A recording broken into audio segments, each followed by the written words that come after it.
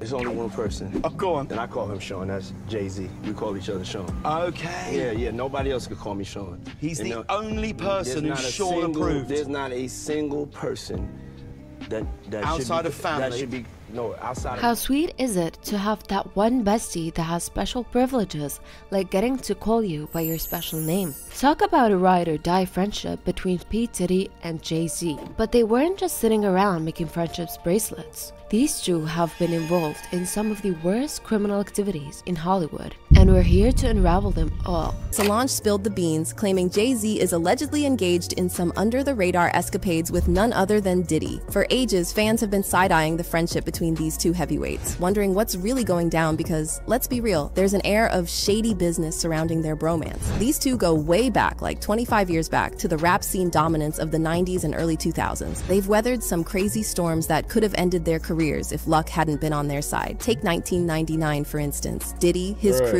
and his then too much, girlfriend Jennifer Lopez in a club when things went haywire. An altercation between Diddy and another dude turned chaotic, shots were fired, and three people ended up injured. Diddy and J Lo made a quick exit, but the law caught up with them a few blocks away. While J Lo got a clean slate in a matter of hours, Diddy faced charges of criminal possession of an unregistered gun and attempted bribery.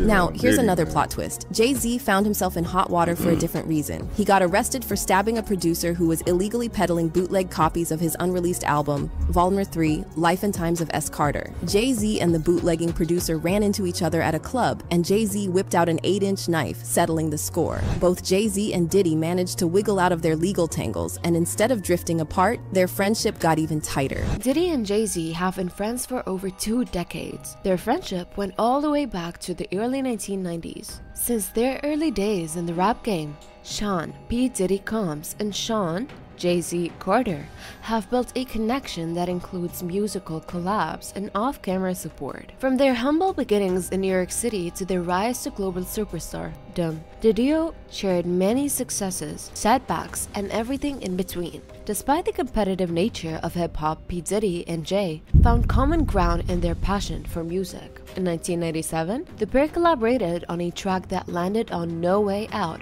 Diddy's debut studio album. Around that time, both of their careers were subject to controversy. The rappers found themselves in illegal turmoil in 1999, and they were facing the same amount of time in jail. Per the New York Post, Jay was facing charges for stabbing Lance, Rivera. Meanwhile, Diddy was on the hook for his involvement in the infamous club shooting, which saw him flee the scene of a Times Square hotspot alongside Jennifer Lopez. Both men avoided jail time, and their friendship continued to grow. Their bond seemed unfazed by their previous legal troubles. They were often spotted out together, and they regularly voiced support for each other in public. An incident that occurred in 2007 has resurfaced amid assault allegations against Diddy. In a video from a performance at Screamfest 07, Diddy appears to touch Jay's butt but the exchange is hard to make out. That Diddy not stop 50 Cent from using the clip to drag Jay into Diddy's drama. 50 took to Instagram in November 2023 to troll the pair, suggesting that Diddy intentionally slapped Jay-Z's butt. The video has also been shared on YouTube and TikTok, and people can't stop talking about that moment. We got, hey, hey, You hey. can get down, This nigga. a You can get this- down. That's all this good. a real on then. You special wanna get- moment, ain't Come it? on, you can get some, nigga. This a real special moment, Let's ain't go. it? Bought more jewelry. Yeah, more Louis V. My mama Yeah. couldn't Get get through to me. Yeah, You and me. nigga. I'm just saying how I feel, man. I ain't one of the. I guess the money should have changed them. I guess I should have forgot where I came from. yeah, Lie, yeah. lie. Wait till I get my money right. Suicide door. What? This is my life, homie. You decide. They say I talk with so much emphasis. 50 had to come back out make my show hot. I so appreciate it. To This- this Center the city. But the drama didn't end there. Since then, eight people have sued Sean Combs for sexual assault in five months. Sean Combs is now facing several lawsuits after another woman came forward to accuse him of sexual assault. TMZ was the first to report that the lawsuit was filed in New York on Thursday. A woman named April Lampros accused Combs of sexually assaulting her four times between the mid 1990s and early 2000s when she was a student at New York's Fashion Institute of Technology. CNN reported, I'm confident that justice will prevail and the veil will be removed so no other women will have to endure what I did. Lampros told CNN in a statement. Since November 2023, Combs has faced a cascade of sexual misconduct lawsuits, which have damaged his reputation as a hip hop mogul and led to some companies cutting ties with him. In the first lawsuit, Combs' ex girlfriend Cassie Ventura accused him of rape and physical assault that began when she was 19 years old. Combs denied the allegations on November 16, 2023. Cassandra Ventura, also known as R&B singer Cassie, filed a lawsuit in a New York federal court against Combs, whom she dated between 2005 and 2018. She claimed sex trafficking, human trafficking, sexual battery, sexual assault, and gender motivated violence, among other actions. Cassie claims his controlling behavior started when she met him in 2005. After she signed a deal with Diddy's record label the following year, he allegedly took complete control over her life, including her apartment, car, clothing, and even her medical records to keep her under his thumb. According to the lawsuit, he went so far as targeting rapped Kid Cudi, who briefly dated Cassie in 2011 during a rough patch in Diddy and Cassie's relationship. Just one day after Cassie filed the lawsuit, she settled with Diddy out of court. New surveillance footage obtained exclusively by CNN appears to corroborate some of the allegations of abuse against music mogul Sean Diddy Combs. The video, captured on multiple cameras, shows Combs wearing only a towel, assaulting his then girlfriend, Cassie Ventura, in a hallway at a Los Angeles hotel in March 2016. A lawsuit filed by Ventura in November last year and settled the next day referenced actions that seem to match those seen in this video. There is no audio. According to the complaint, Combs became extremely intoxicated and punched Miss Ventura in the face, giving her a black eye, which, according to the lawsuit, prompted Ventura to try and leave the hotel room. The surveillance video obtained by CNN begins as she enters the hallway. The complaint says, as she exited, Mr. Combs awoke and began screaming at Miss Ventura. He followed her into the hallway of the hotel while yelling at her. The complaint goes on to say he grabbed her and then took glass vases in the hallway and threw them at her. In the surveillance video, Combs can be seen grabbing Ventura and throwing her to the ground. As Ventura lies on the ground, Combs then kicks her twice and attempts to drag her on the floor back to the hotel room. Ventura is seen picking up a hotel phone. Combs seems to walk back to the hotel room, then returns and appears to shove her in a corner. Moments later, he can then be seen throwing an object in her direction. According to Ventura's now settled lawsuit, the pair began dating several years after they met in 2005. They parted ways in 2019.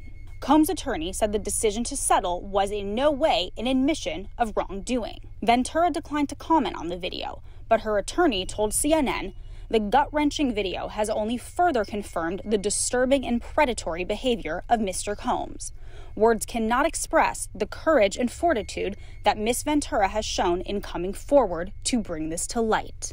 The video hasn't been seen publicly before and comes on the heels of a series of civil lawsuits alleging Combs' involvement in sex trafficking and sexual abuse. Ventura's lawsuit was followed by six others against Combs. Combs is also a co-defendant in another lawsuit filed against his son, Christian King Combs. Dickerson Neal, who was a college student at Syracuse University at the time, reluctantly agreed to dinner with Combs. During their date, Combs had intentionally drugged Joi, resulting in her being in a state where she could not independently stand or walk. Combs allegedly spiked her drink when Dickerson and left her drink unattended to use the restroom. After dinner, the two continued to spend the night together. Dickerson Neal recalls Combs taking her to a music studio and then to his home where the assault allegedly took place. She felt humiliated and hurt, yet she could not even escape the assault. A spokesperson for Combs said in a statement Thursday that his last minute lawsuit is an example of how a well intentioned law can be turned on its head. Mrs. Dickerson's 32 year old story is made up and not credible. This is purely a money grab and nothing more. Diddy's second lawsuit, accused of rape,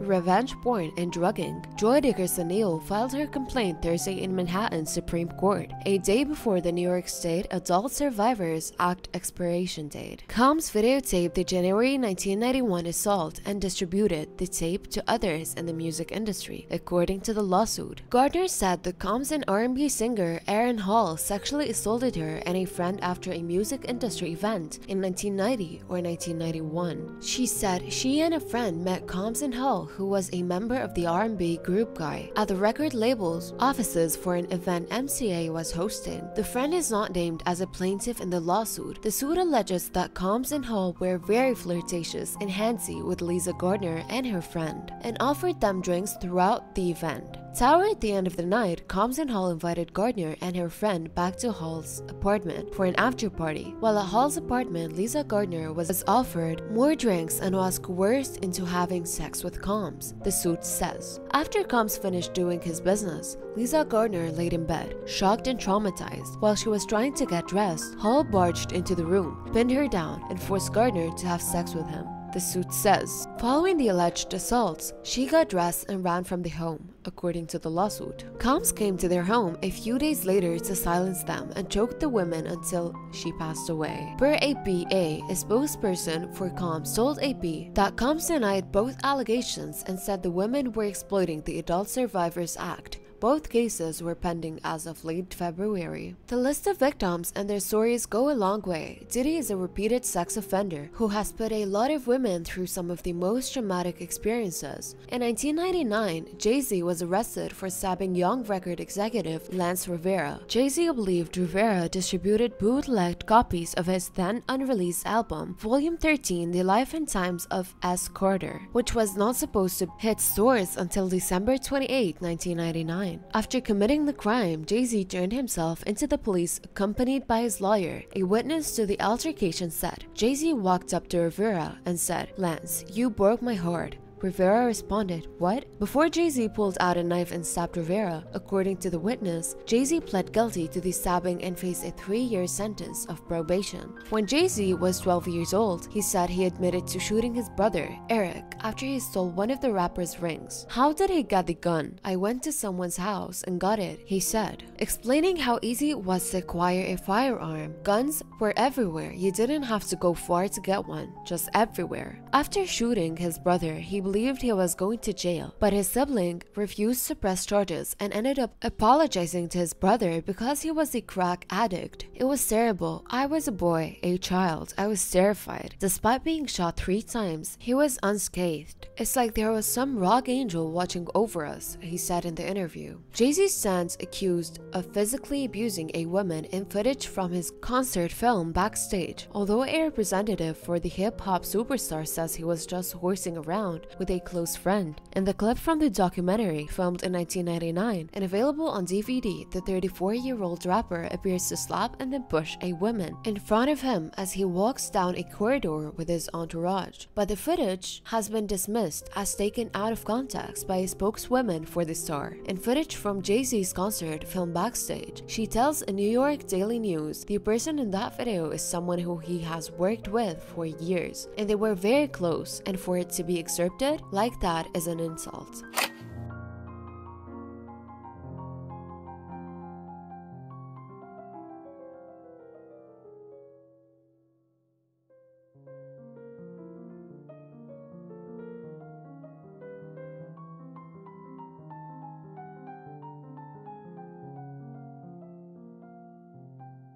Diddy and Jay-Z seem to be just as cool as they ever were with each other. Diddy showed love to the Brooklyn native during an appearance on Sway in the Morning and revealed that they had plans to go into business together. Me and Jay, we've talked about it. We said we want to pick the best one. Diddy explained. It's going to have to be that one thing that gets it all the way popping. In 2022, Diddy and Jay stood by DJ Khaled as he was honored with a star on the Hollywood Walk of Fame and were spotted chatting during the ceremony. However, Hov has stayed quiet amid allegations that Diddy was involved in a litany of salacious acts, leaving fans to wonder about the state of their friendship. Meanwhile, 50 Cent has continued trolling the pair. He took to Instagram on March 27 to suggest that Jay was missing because he had not spoken out about Diddy and his legal troubles. Sounds like Diddy and Jay are two peas in the same pod. They are both some of the most powerful figures in the industry. They both share the same ambitions and passions for music, and they both have their fair shares of sexual assaults and criminal activities. Such a great match, if you ask me. Can't wait to see how they meet their downfall.